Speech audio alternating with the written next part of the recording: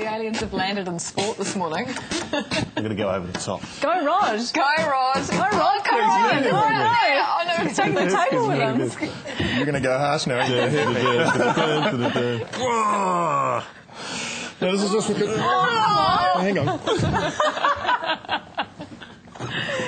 on. He's putting on a show for Oliver. Oh,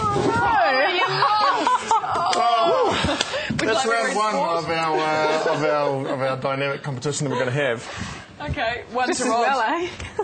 Jesus, Rod. What do you do with that arm? That's very good, Ollie.